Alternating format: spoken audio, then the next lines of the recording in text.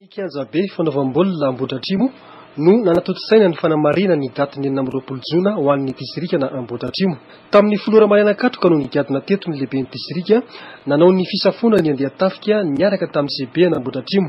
Amin'ny maha fety ny foloalindahy moa dia rariny raha izy ireo no nitarika ny matso tamin'ity fotoana ity, narahana ireo sampandraharaham-panjakana eo anivon'ny distrika sy ireo hery velona rehetra manodina ny raharaha sosialy sy ny fampandrosoana ary ireo mpianatra isan-tsokajiny miankina na tsy miankina amin'ny fanjakana.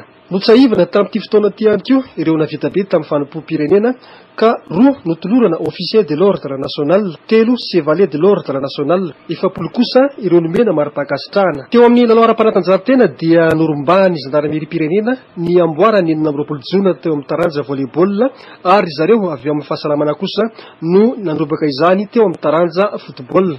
Marihina moa fa an'arivony maro ireo nandray anjara tamin'izao fankalazana ny datin'ny enina amby roapolo jona izao teto amin'ny Distrikan'Ambohidratrimo.